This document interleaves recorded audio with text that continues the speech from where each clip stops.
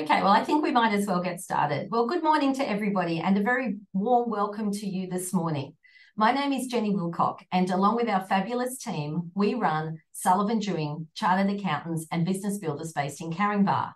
Today, we are hosting for you a share market update with Andrew Tyrrell, Senior Investment Advisor, and Martin Crabb, uh, Chief Investment Officer from Shaw and Partners. Andrew and Martin will guide you through the latest developments and trends shaping the share market landscape. They will provide us with a comprehensive insight and an overview of the Australian share market so that we know where to invest, what stocks will bring some capital growth, and where we can look for some dividend return. Sounding good, pretty good so far, isn't it? Before we start, just some housekeeping. Um, if I can just get you uh, guys to flick across the next slide for me. Before we start some housekeeping. So if you have any questions, um, if you don't mind typing them in to the Q&A box at the bottom of your screen, um, there's also a chat box down there as well. So we'll make sure we get them from either one of those locations. Uh, and we will ask these questions of Andrew and Martin at the end of our presentation. We'll um, I've also got a, some extra bonus questions that we'll ask as well, and we'll make sure at the end of today's session that we will email you the presentation slides and this webinar recording.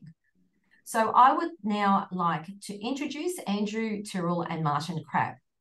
Andrew is a third generation senior investment advisor with 25 plus years experience in finance.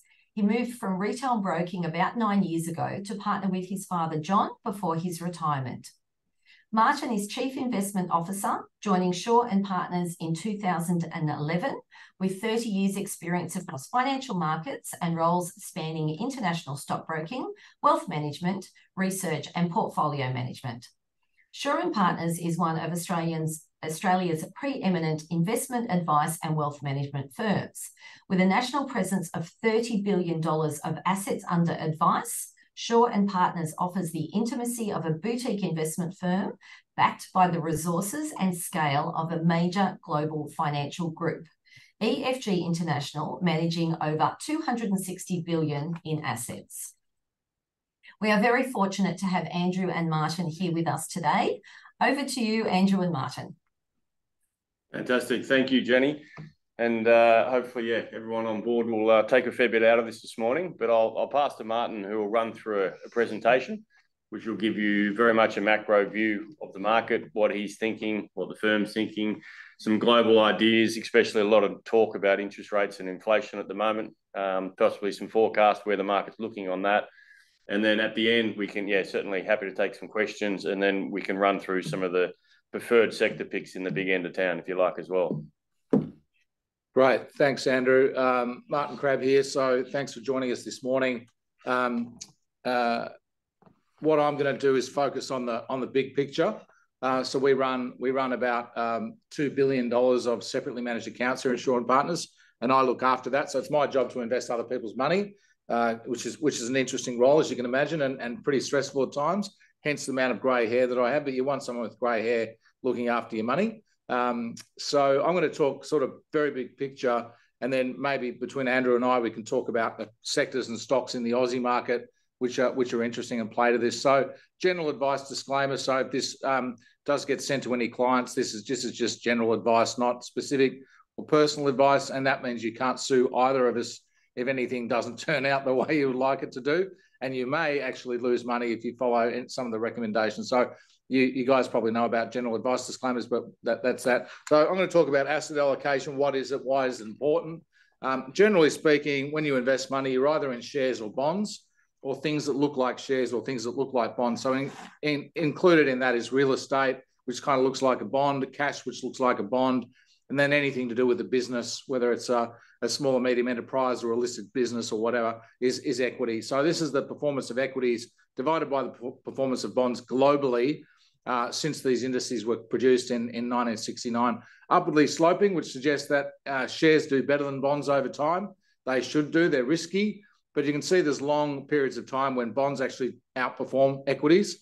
Uh, and there's probably a 20 or 30 year span there where it didn't really matter whether you were in bonds or equities, you did about the same. So recently, obviously, equities have performed a lot better than bonds. And, you know, is that going to continue into the future? So asset allocation is really about saying which of these sectors do I want to be in? Do I want to be defensive or aggressive?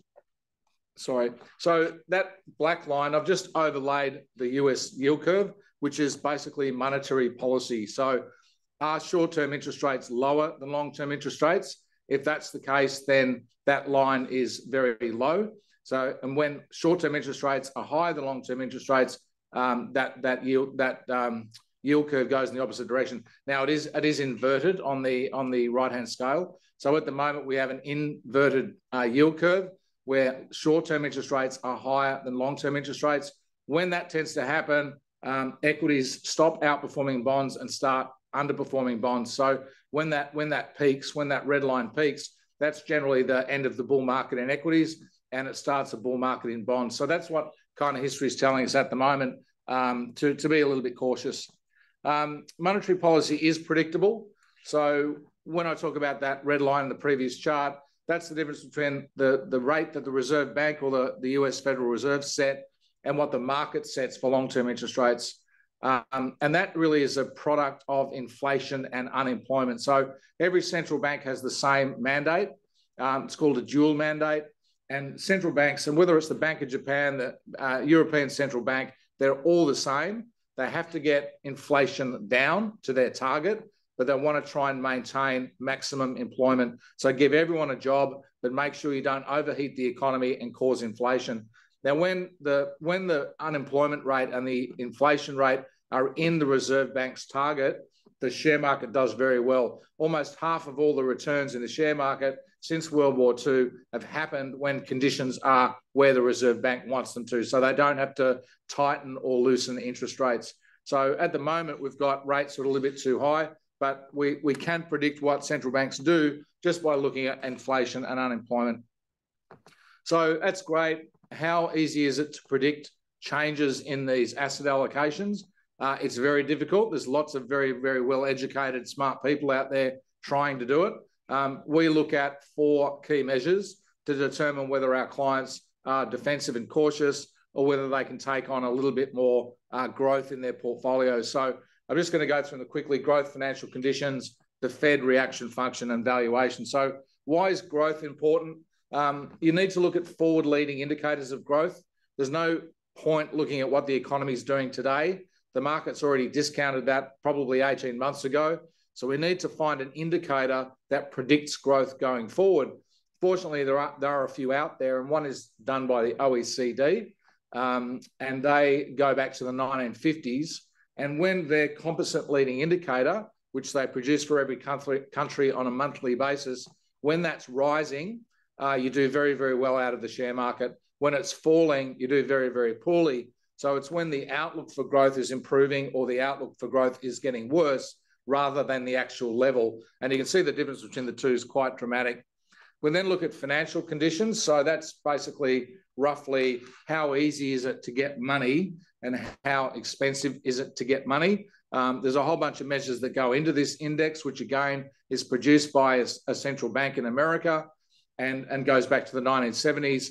When financial conditions are loosening, i.e., it's easier to get a loan, uh, you do very well out of the share market when it's getting harder to get a loan, it gets it gets pretty ugly. You actually lose money investing when it gets harder. So if you think about Australia in the last two or three years, three years ago, you could walk into any bank, anyone with a pulse could get a loan. You could lock it in for three or four years, and you can probably get a rate below two percent. The same person walking into a bank now will have much tighter conditions. They'll have to show income and assets. Uh, they won't be able to uh, borrow the whole lot and it'll cost them 6%. And they won't be able to fix it for four years. So it's much harder to get money now than it was. That's financial conditions tightening. And when that happens, uh, markets don't tend to do well. Um, and finally, uh, what, are, what are central banks doing? So when, this, when inflation is high and unemployment is low, like it is now, central banks typically have to uh, raise interest rates. And when that condition is looking like it's happening, markets don't do well. On the flip side, in a recession, um, when they've got to cut rates, you do well. So if you buy shares in a recession, you tend to do better than if you buy them at, at the end of a bull market.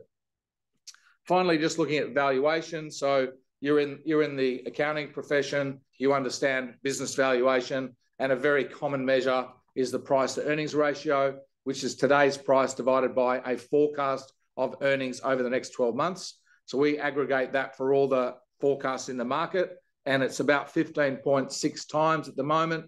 Market's come off since I did this slide by a few percent, so it's probably trending back down towards maybe 15 times.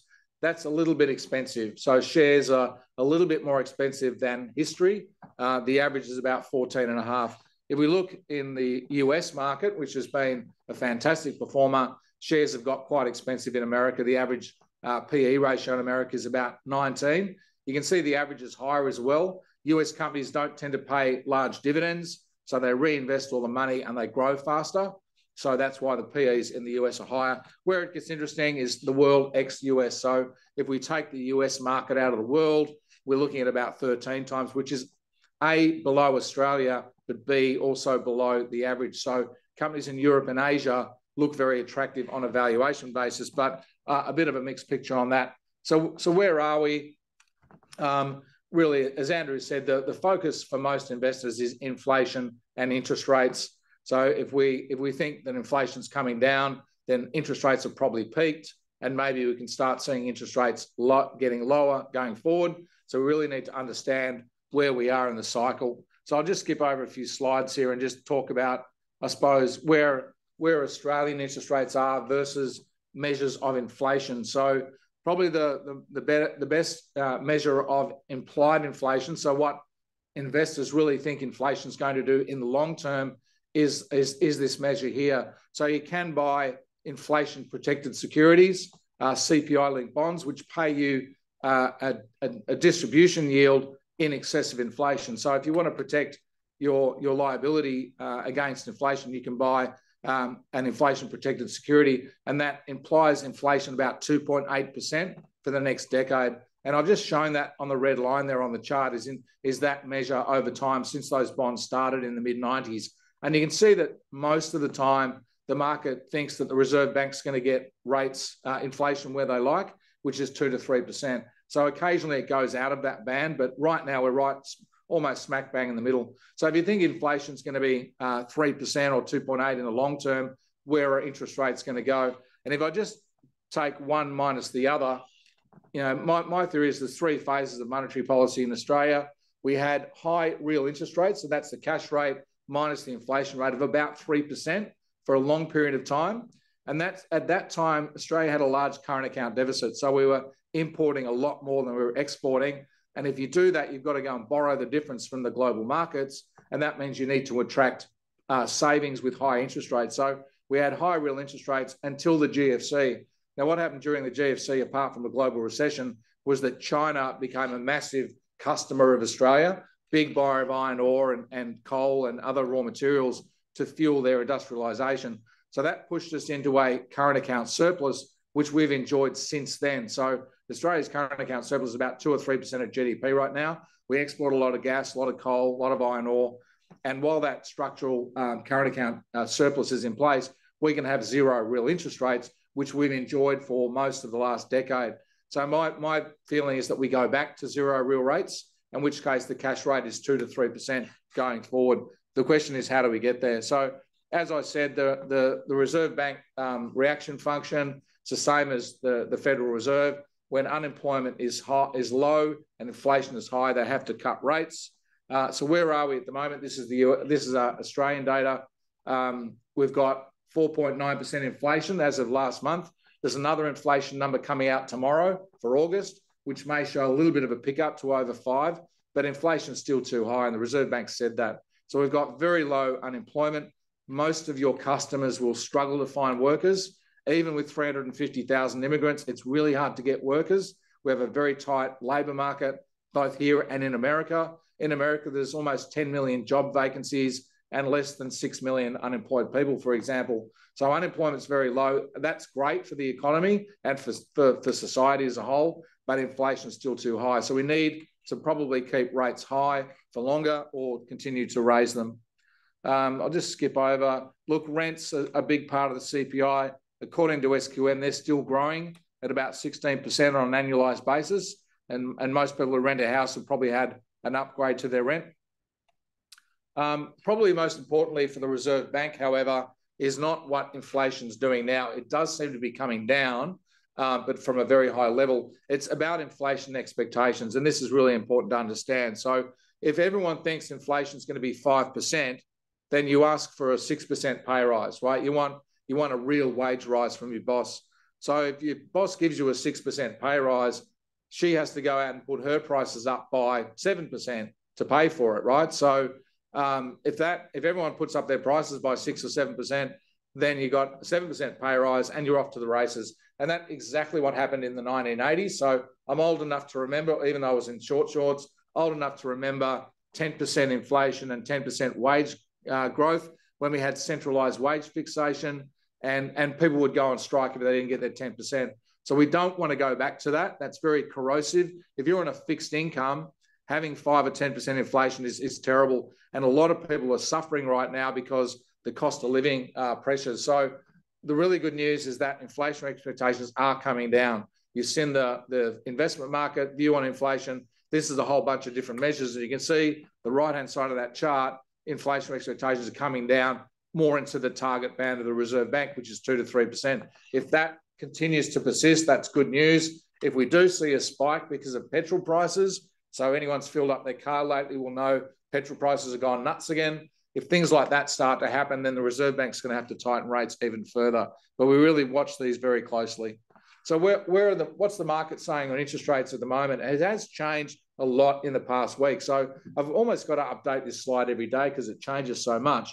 But this is as of last night. Um, cash rates are expected to peak at about four point well, the, the next rate hike would be would be 25 basis points, and that would take the cash rate to 4.35. You can see that the market's almost there. So it's pricing in almost 100% chance of another rate hike.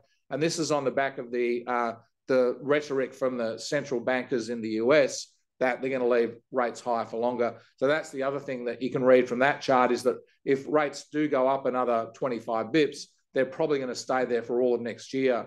So those of us that are looking for a bit of relief on our mortgages, probably not going to happen at the moment. So at, at, you would need a, a pretty um, deep recession to, for that for that view to change and for rates to come down quicker. So that's the outlook for Aussie rates. For US rates, it's a very similar story. So they're currently 5.25 to 5.5. Um, and the market's saying there's probably another rate hike to come. Their next meeting's in November, but then they stay pretty sticky. You can see that even by the end of next year, we've got 4.75. So that's maybe one or two rate cuts, not a whole bunch out there. So higher for longer. So just moving forward, oops, sorry. Um, in terms of some of the measures that I talked about, so what are these growth indicators telling us at the moment?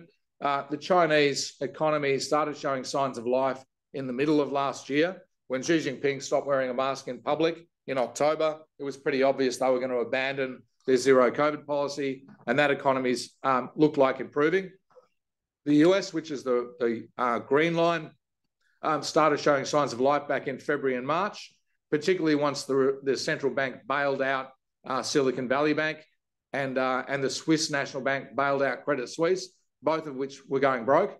Um, that, that was a significant step in terms of financial conditions and growth, and markets have recovered since then and the global economy showed, started showing signs of life in October. Like growth is still slowing. Most of these measures are still below 100, but it's slowing at a slower pace. So what the market is, is worried about is not the level of growth, it's the rate of change. It's the second derivative. The bad news is the Australian outlook is still deteriorating. So the economy is likely to be worse in nine months than it is today. So just thinking about portfolios, it looks like global equities are cheaper, especially outside America and the growth outlook is improving in those global economies faster than it's improving in Australia. So just keep that in the back of your mind. Um, things in Australia, the Westpac Melbourne Institute leading index, um, it's it's not it's below, again it's below zero, so suggests the economy is still slowing, but maybe signs of life um, starting to come in there, but but pretty noisy still.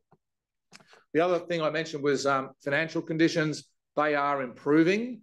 Uh, not all measures are improving, but if you're a, a, corporate seeking to borrow money in the US, it's getting cheaper over there. Um, and and measures of risk like volatility indices are, are way down. So it suggests that financial risk is very low.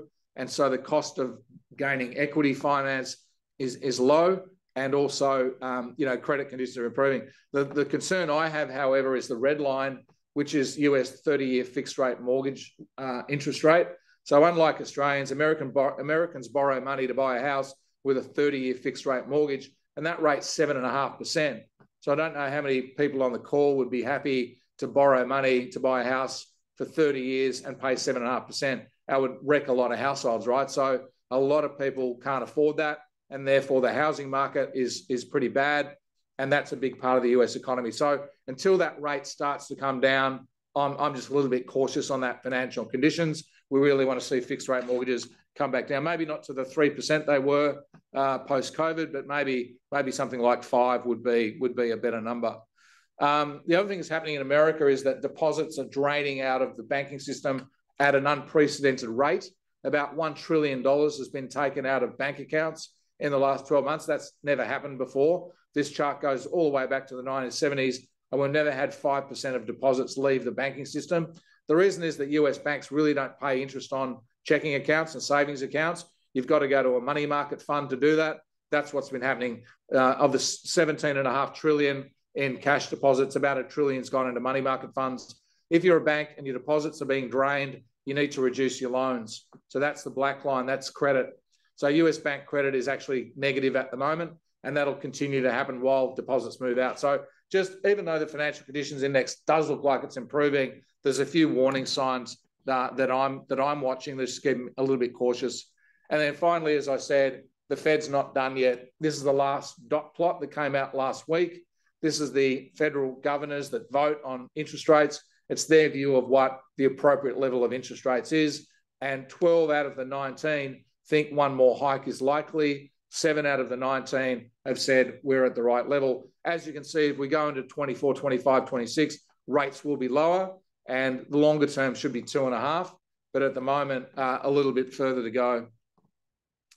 Um, so there is an increased chance of a soft landing. So the narrow golden path, as, as some bankers call it. So what's supposed to happen uh, is that in order to get inflation out of the system, you need to kill the economy. You need to put a lot of people out of work. You need to get businesses to go broke. And so you, you kill demand in the economy, and that gets the inflation out of the system. In the 90s, 70s, and 80s, that's exactly what happened. Interest rates were put up to almost 20% and killed the economy. We had 10% unemployment, but we got rid of inflation, and we got rid of inflation for 50 years, and it's only just come back. So the, the school of thought and, and the, the Taylor rule and the Phillips curve and all these things you learn at uni uh, suggest that we need to get unemployment up. So what's happening at the moment is inflation's coming down without unemployment going up. That's a really, really good outcome for the market. It's a really good outcome for society. If we can avoid putting people out of work and get inflation down, we can cut interest rates and everybody's happy. So that's why the market's rallying so much this year, is that this is increasingly likely. It's never happened before. So it's not something that you, you would predict would happen, most people think a, a, a hard landing is what's going to happen, but the fact that it's a soft landing is really positive. So, in terms of how we manage portfolios, you know, we, we look after uh, multiple asset classes. So, a lot of our investors just have Australian shares, but increasingly people want diversified portfolios, and there's good reasons for that, which I'll talk about in a second. So, at, at the uh, you know in August uh, this year, we had about 10% cash in our portfolio more than we would typically have. So we would typically own 3% cash in our portfolios. We had 13 and we had less in all the growth assets. So we had less in Australian shares, small caps, and, and global equities. Because of this increased chance of a soft landing, and it looks like the central banks are done or close to being done, it looks like growth starting to improve or the outlook for growth is improving and uh, financial conditions starting to loosen uh, it suggests we should be at least neutral. So we've moved back to a more neutral stance. We were underweight cash. We've got a few bonds in there because US 10 year bonds are now yielding 4.5%, which is a pretty attractive yield. And you can get better than that with corporate debt. So you are starting to get some pretty juicy interest rates in very, very low risk investments, which suggests that you do that with your cash. So we've moved back to a neutral, a neutral setting within that. So this is what a balanced portfolio looks like at Shaw Partners. This is designed to give your investors or yourself, uh, you know, uh, cash plus 4%. So the RBA cash rate plus 4% over the economic cycle, so five to seven years. And since we launched these portfolios back in uh, 2015, they've, they've achieved that sort of return. So as you can see, it's got a good mix of investments, not all the eggs in one basket. But I just wanted to touch on one theme, which is just going global. So uh, if you leave Australians alone and give them no advice, this is what they tend to do with their money. So self-managed super funds is probably the largest pool of self-directed investments. It's about a trillion dollars.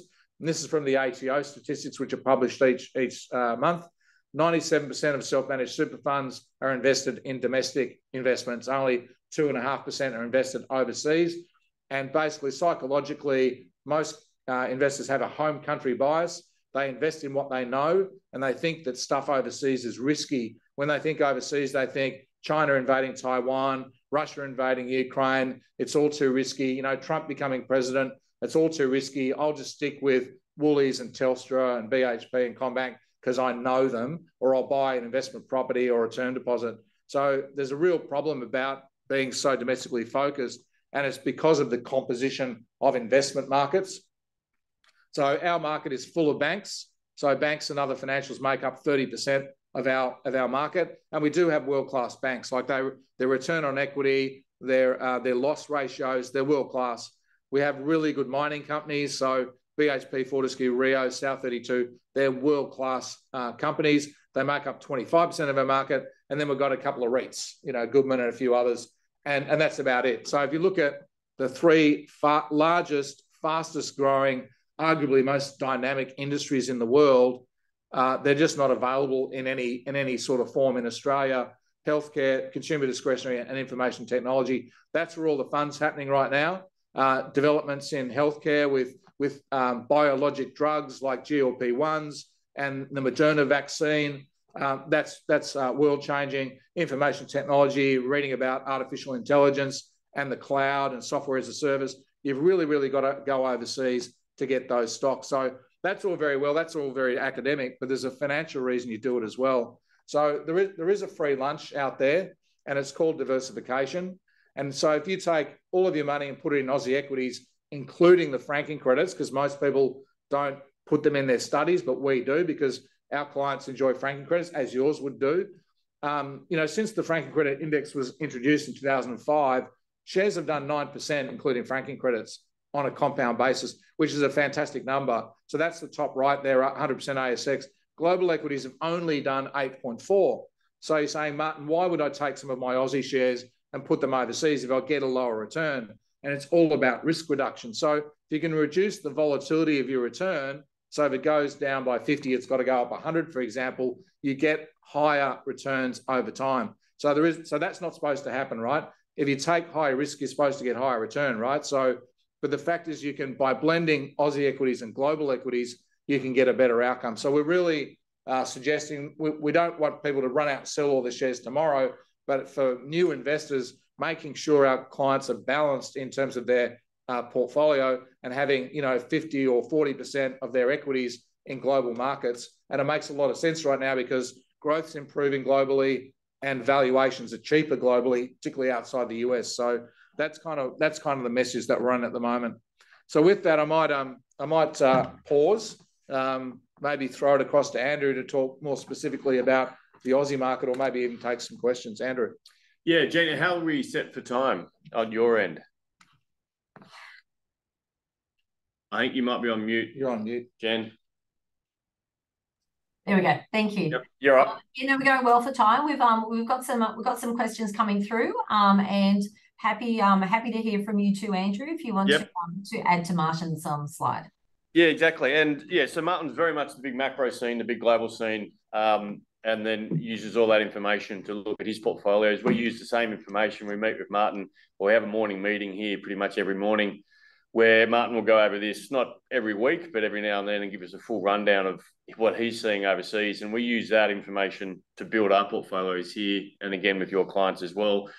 Obviously, if the self-managed super fund, as Martin was alluding to, franking credits are very important. So we also have a pretty big focus in those accounts um, to look at the franking credits and look at the quality of the names. And with everything that Martin said, yes, you can take two views of it. You can take the bearish view saying, okay, everything's still getting worse, or you take the positive view, as Martin said, you've got to look six to nine months out for equities because that's where they're pricing it. Like if you're looking right now in the markets and you know over this last year, you'd be very hesitant, and we're seeing that with volumes today in the market. The market volumes are very light, and we're seeing a lot of whipsawing. So if you when you get a chance, or I can send a chart through um, to you later today if you look at what the market's done for the last 12 to 16 months, we've been up and down, up and down. We've had some big moves, 200 points higher, 400 points lower, etc. But net, net, the market's actually not really gone anywhere from a capital growth point of view. Within that, obviously, certain sectors have outperformed others. And then within that as well, if your capital growth has gone nowhere, but you're getting that franking and your franking credits, you can still get a very good return of, you know, six, 7% for the year, which is still not a bad outcome um, for the markets taking all that information into account, like if we're looking at portfolios and we're looking within um, certain sectors, for example, the banks, the financial sector is always one where the press would love to, you know, destroy a bank. Hopefully they don't, because we'll have a lot more problems out there than just inflation. But it's something where if you look within the banking sector, you've got the four major banks, you've got ANZ, CBA, Westpac, and NAB. We've also got the Macquarie Bank, which is a smaller, but you wouldn't say that's one of the majors. But within that, CBA Bank everyone loves. The share price has done very, very well. It's sitting, let's say, circa $100 a share at the moment. It's trading around 2.4 times book value. And then if we can compare that to ANZ and Westpac, they're both trading at one times book value. ANZ and Westpac are yielding 6%, a little bit more, fully franked. So you gross that up, let's say around 8.5%. CBA is yielding closer to four.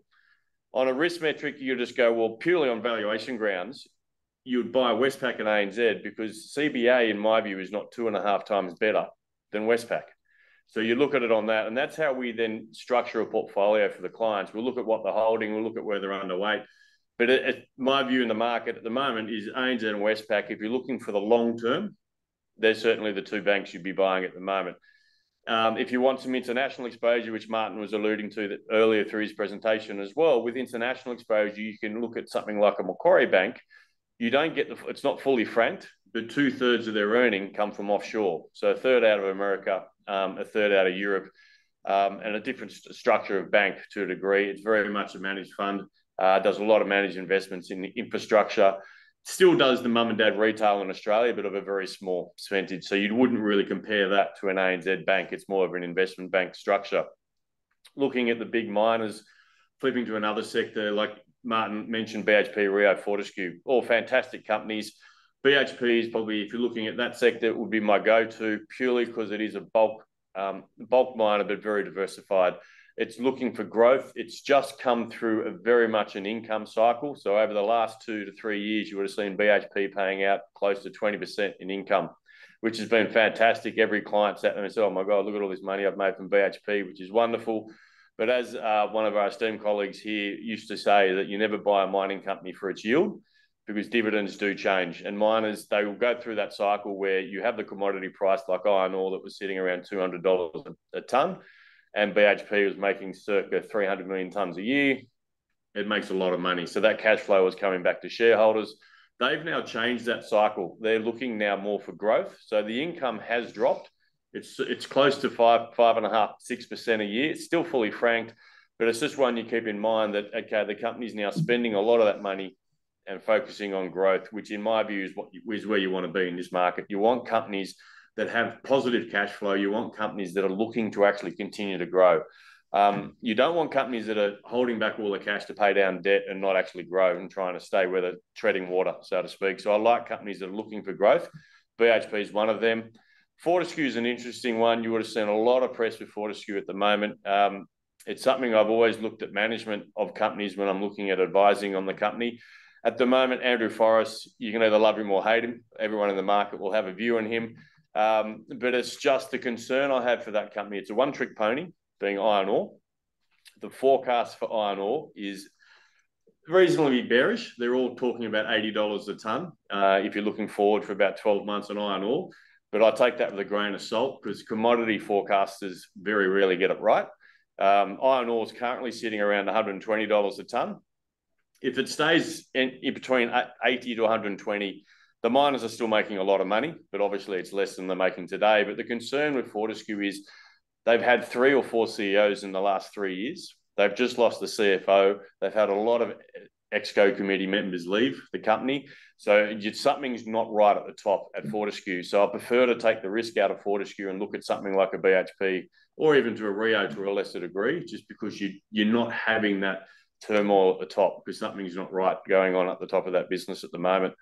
Um, and then if you keep moving through the different sectors, obviously, as Martin alluded to, the international tech is a big place where Australia, we have zero tech. Um, America, if you look at the S&P 500, that's probably circa 30% of their index is made up of the big tech companies. Um, you've got the FANG, which is your Facebook, your Apples, your Netflix, your Googles. We have, there are opportunities in Australia. Instead of having to go out and buy Apple in America and then set up an international account and, you know, buy one of those companies, there are platforms in Australia, one called an ETF, which is an exchange traded fund we have one which I've used very successfully for a number of clients, which we buy via. Um, it's called the Nas. It's NDQ is the stock code. It's basically the Nasdaq 100. So you're buying the 100 biggest tech companies in the world, which is listed on the Nasdaq, and it's just an easy add-on to a portfolio where you can reduce that burden or that exposure to Australia. You get access to these big companies like you've got Nvidia, which is gone, I think, almost tenfold this year. Um, that's one of the big AI companies in America.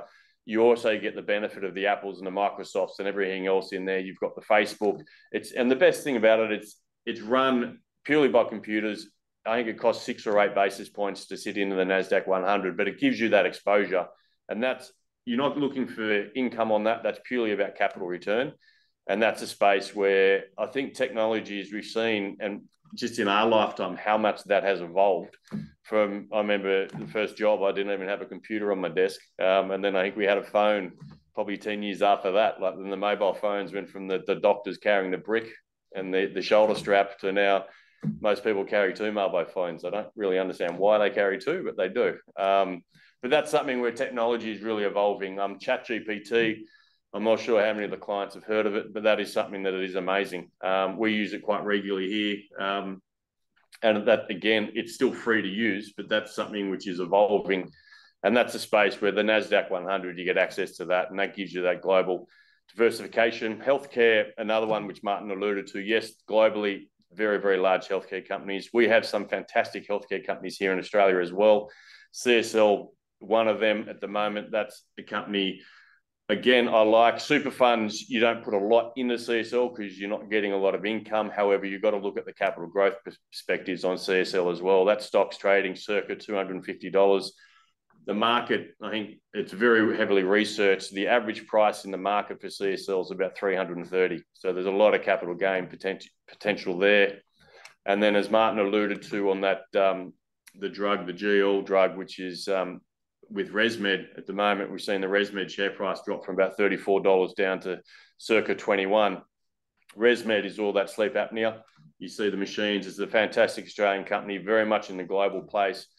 And again, because of this new weight loss drug that's come along, um, the, the concern in the market is that the sleep apnea won't be as prevalent around the world, which I think is probably a little bit far fetched. And the fact that it's almost sold off, you know, 40%, I think that's something we can certainly look at again, a US earner, uh, gives you that global perspective, similar to CSL. Not a lot of income, but just in regards to a capital growth, that's something we can certainly look at when we build portfolios as well.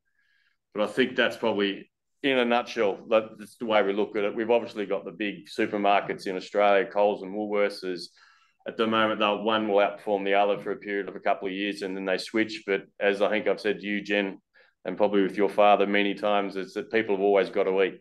Um, and it, it, proved during COVID. Uh, we saw that through COVID, where the market was very, very tough. You saw a very rapid decrease in the equity market and global markets, and we saw the, the supermarkets do well. Because why? Because at the end of the day, you couldn't go out.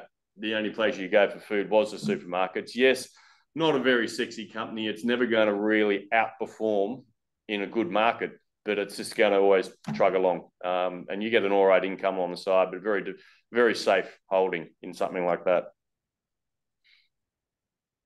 Yeah, absolutely. And I think there's some really good tips in there, Andrew, and um, and certainly some very good information from Martin as well. Where, Andrew, where do you think that the share market will be at by Christmas and where do you think it will be at by June next year? Yeah, it's good questions. If you go back to um, in the last quarterly I wrote, which a lot of your clients would have received, 30 June, as in just gone, we, the market went up about 9.6% for that financial year.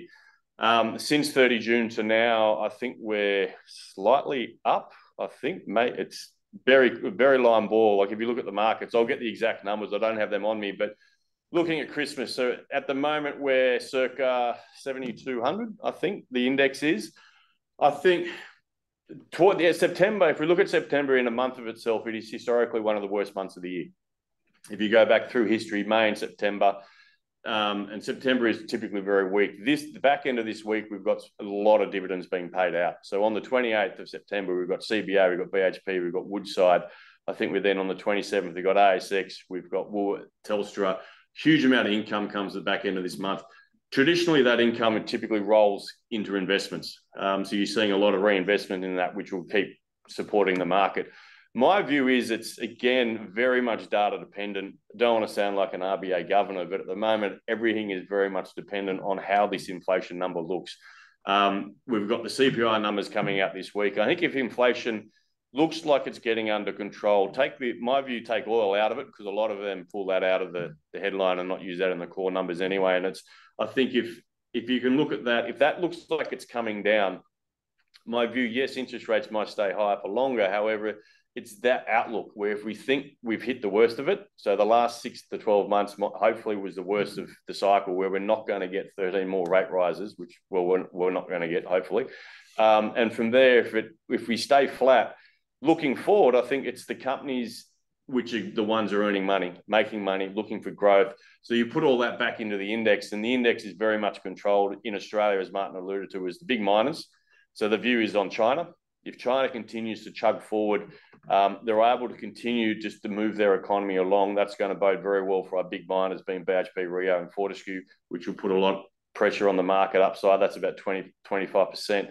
The banks, I think, take CBA out of it, but ANZ, Westpac, and NAB, especially ANZ, Westpac, I see they can't get a lot worse.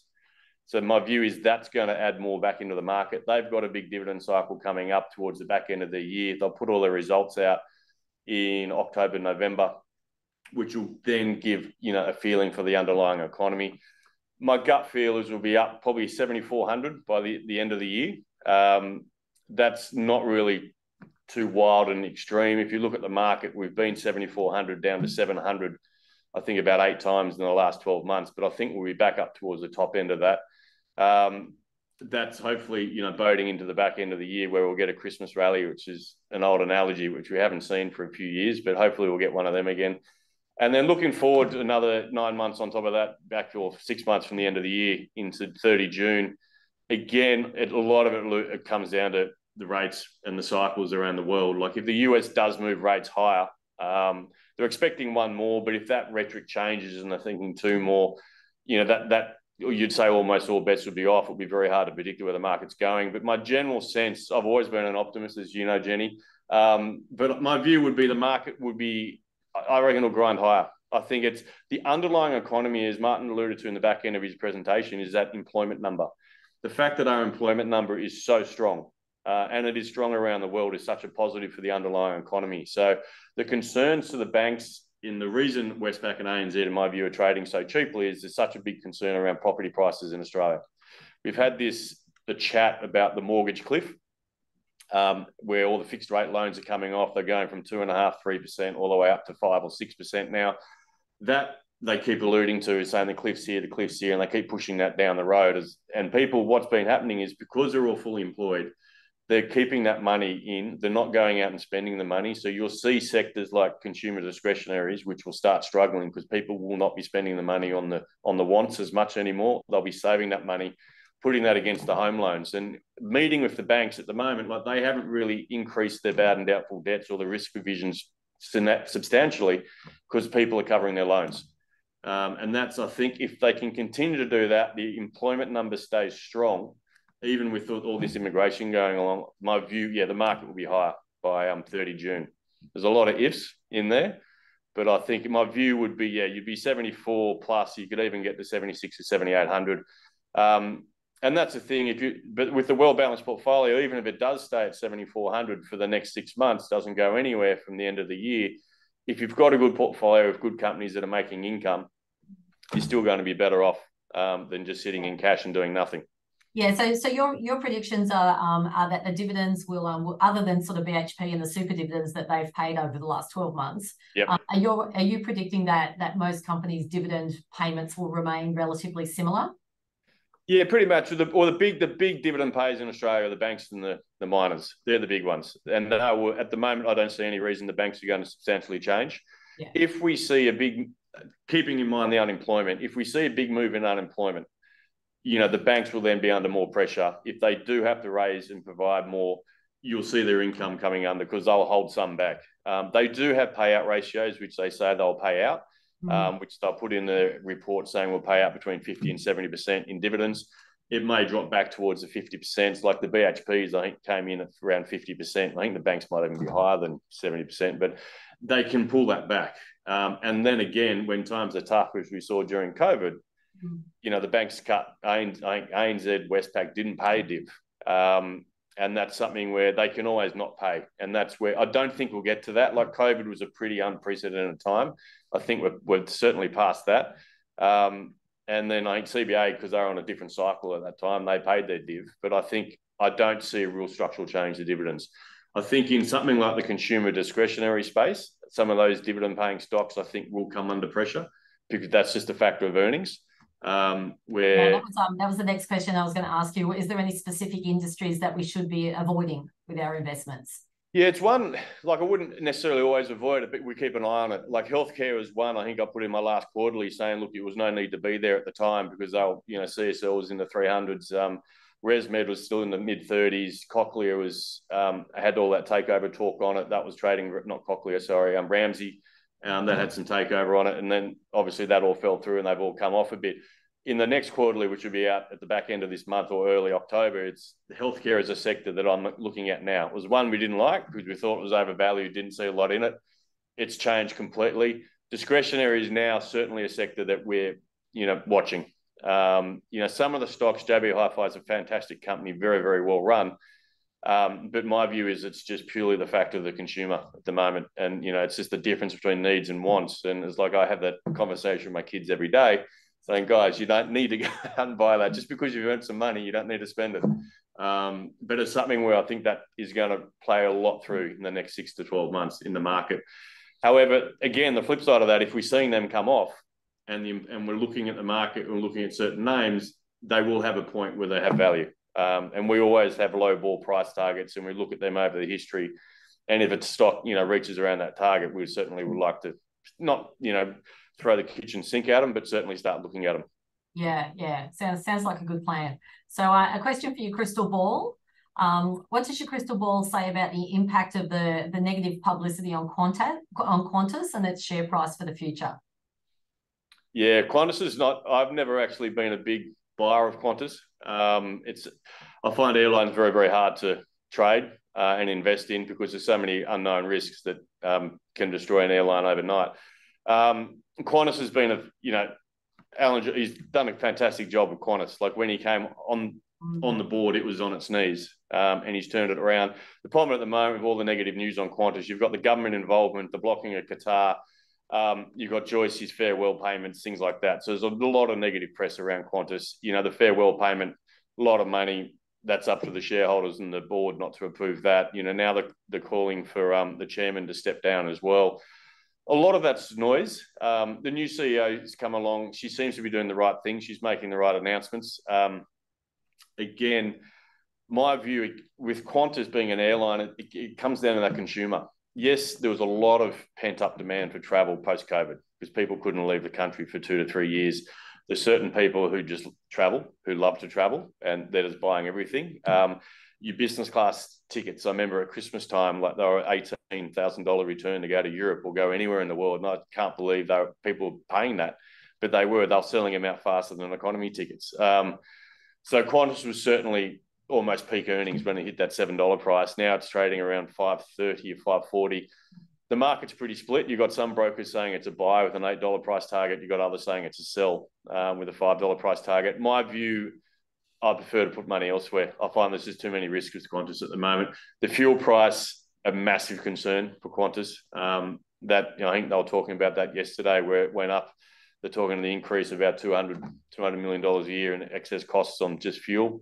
Um, a good airline, but yeah, it's very patriotic buying Qantas shares, but I just think yeah, it's better money elsewhere than in Qantas at the moment. Yeah, I, th- I think you've got some sound comments there for sure. So, so while we uh, while we've got uh, uh, you know, uh, there's a lot of our clients that, that run self managed super funds, um, and I'm having a lot of conversations with people at the minute as to whether they continue to invest in shares or whether they uh, put a bit more money into into high interest. And I, I think that sort of feeds into um to Martin's comments about diversification in the super funds. Um, so I would um, I would be suggesting that that um, that you might be getting some calls from some of our clients, Andrew, about um, a little bit more di diversification. And I certainly um, found it quite interesting your your comments on your um, your Nasdaq 100, your your NDQ um, yep. recommendation. Yeah, so um, so there might be some people that, that contact you about that as well. So other than um other than the the Nasdaq um 100 stock that you mentioned, so the other over the other um, overseas sectors, the healthcare and consumer discretionary, how do you suggest that our super funds get into those sectors? Well, we've got a couple of different products. Um, we've the ETFs, exchange traded funds, are available, um, and we can look at each sector. You can break them down by sectors. You can break them by down by geographical locations. Um, so we can certainly look at that. Healthcare, there is certainly a big health. There's one called Drug, which is the big global drug companies. There is a health one. There's multiple ETFs, which I can go through and look at and find out the best ones, the ones that we like. We also run a couple of other in-house um, global um, providers. Like one is a T. Rowe Price, another one is Aberdeen, which they then manage the money. Um, they focus purely offshore, um, so they can be good bolt-ons. It's something I, I, can discuss with you later as well, Jenny. Some of these, these are run via like a, a managed account product, right? Where they own the underlying security, but they're a bolt-on. Um, which I know the, your views on managed accounts. So that's something we can certainly discuss on those ones. But it's um, there are other ways of providing it as well, where we either provide it to an offshore manager like a T. Rowe Price and things like that. The only thing we've got to be wary of, there are obviously associated fees with that. Mm-hmm. Um, or the other option is we can look at the ETFs, which are listed here, um, where they'll again just add straight to the portfolio. You can see the actual stock codes on the portfolio. You can and everything's there. The dividends. Some will pay divs, not all of them. Like the global health companies, I wouldn't expect much income from all. Um, the Nasdaq one does pay a little bit every now and then, um, but we certainly can look at that.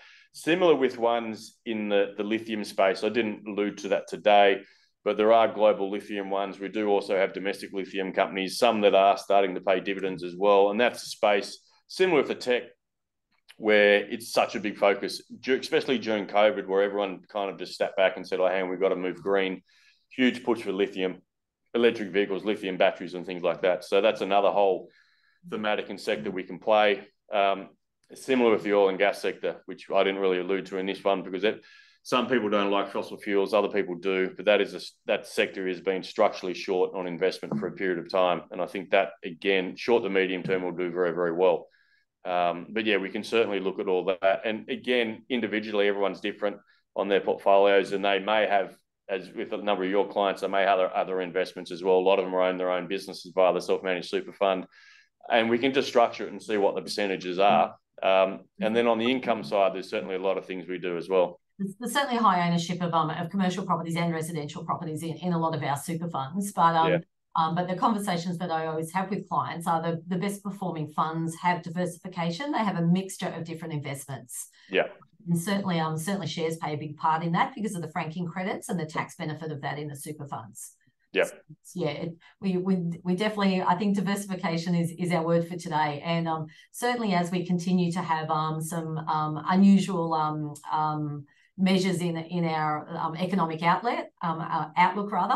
Um, I think um, diversification certainly helps us overcome those. All right, so I will throw one final question at you today, if I may. Um, yep. Last one, last one for everybody today. Your favorite stock pick right now? What would you be buying? Wow. ResMed. yeah, well, as Martin was just saying, there, ResMed is Martin's favourite right now. Uh, he presented yesterday in the morning meeting on that one, and it's it is a very interesting stock. It's a fantastic business, and it has come back a long way. And you know, trading around twenty one dollars, that is certainly a pick. Um, Martin, Martin's on ResMed. Okay, got it. Yeah, no, now he's really put the pressure on me. Wow, I hadn't thought about that one. Um, I've got so many stocks I like and so many I don't. Um, what would we look at? I think yeah, that is tough. You've got me on the spot. I think if we're looking one of the big ANZ or Westpac, right? Yeah, I was thinking the bank would be Westpac, would be my looking at big end where you're getting an income. I think Westpac at one times book value, it's historically very, very cheap. Um, and I think it's just the banking sector will do as long as this employment number stays where it is and doesn't blow out. Mm. I think the the market will re-rate higher. It's just it had the big change post the Royal Commission. It got hit for six on the Austrac scandal. The CEO's gone, the chairman's gone. It's all new people on board. Re- the, it takes time for them to win, you know, market confidence back. And I think once that gets, that's you'll see that move higher very rapidly and catch up to the other banks. Because if you look at a chart, the last 10 years, Westpac has not been a great investment on a capital point of view, um, which is, you know, I think it was 10 years ago, it was probably close to $40. Um, you know, now it's trading around 20. So it hasn't been a great investment. You add the dividends along the way. Yeah. Okay. You have, probably haven't lost any money, but it's just, I think there's a lot of upside available in Westpac. Yeah, well, I, I think I think they're they're two good, very different options as well. The the the ResMed and the Westpac. Just um, just one one final question from Joel has just come through. Are there any small caps that you would recommend to buy? Yeah, I was talking to Martin before the, the start of this presentation, and the, the small cap sector is quite funny. Martin only focuses on the ASX 100, which is very lucky. I tend to focus mainly on the ASX 100, squeeze out the 200 every now and then. Um, Yes, I think I know which Joel's talking on the phone here as well. Um, but it's, I think the small cap sector, it's it's very hard at the moment. It's it's all coming down to quality of earnings. You know, if you're not making money at the moment, we're seeing a lot of stocks in that sector, you know, just being sold very very heavily. I think the short interest in that space is very large, and people just don't want to be there because they don't have that earnings. Some of that sector, I think, will come to market and raise money as well. I think at the moment, there's not really any small caps that come front and center to mind. Like we've got some, you know, great companies in that small sector, like SRG, which is a very good engineering company, which is something which we like. Um, or Ventia wouldn't be small cap, so that's a stock that we like very well. That came out of CIMIC, but that would be that wouldn't be a small cap sector. Um, what else in the small cap space? Yeah, not something I've really looked at closely at the moment because it's it is certainly on the nose. Um, it's a space I think you've got to look at the individual stock within that sector and then work out what that sector is doing as a whole as well. Um, but yeah, it's not something I've been focusing heavily on at the moment because it's a that is very very much a hard place to play, especially yes. when things are tough. Like the big end of town is doing it tough, the small end does it does it even harder. Yeah, I, I yeah. I think that sounds very sensible. So, um, so I would say, um, thank you very much to um to Martin for for your presentation this morning, and thank you, Andrew, very much for your insights as well. We're certainly very fortunate to to have your expertise broadcast to um to our audience. Um, and thank you also to um to our audience for joining Sullivan Dewing on our webinar this morning. Um, I think it's been a very enjoyable and very informative um, session we will um, we'll get a copy of the slides and this webinar record, recording out to everybody. And if there are any further questions at all, um, or if you need any assistance, um, don't hesitate to reach out to Andrew or also to Sullivan Dewing. Thank you, everybody. Have a great day.